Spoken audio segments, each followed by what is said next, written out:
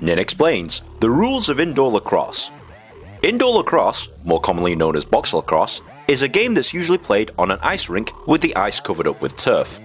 The surface is usually about 200 feet by 85 feet. Indoor lacrosse is played with two teams of 18, with six players on the surface at any one time. They consist of one goaltender and five runners. The object of the game is for your team to score more goals than the opposing team. To score a goal, a player must use his lacrosse stick and shoot the ball into the goal. The ball must completely cross the goal line, and the shooting player must not step into the crease for a goal to count.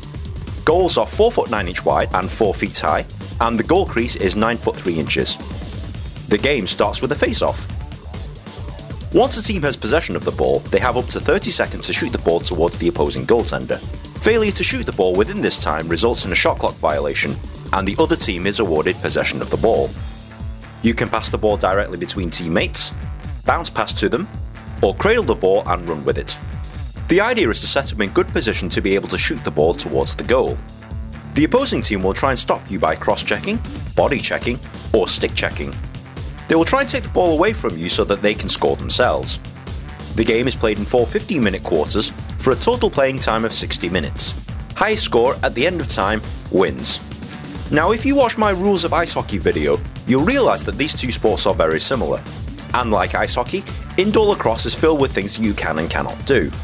Should you break one of these rules, you will serve a time penalty, leaving your team with one less player and your opponents with a man advantage.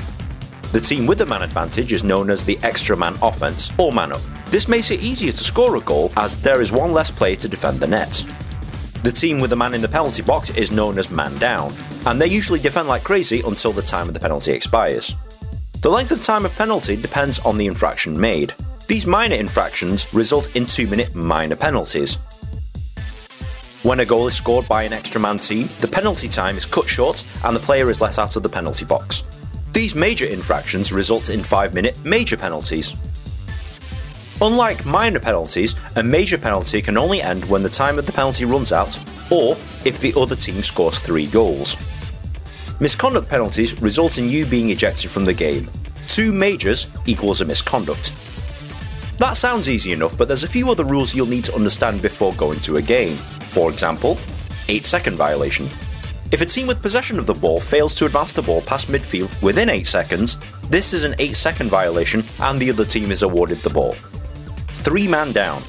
By the rules of indoor lacrosse, a team must have at least three runners on the surface. If a team already has two players in the penalty box and is assessed a third penalty, a penalty shot will be awarded instead of taking a third man out of the game.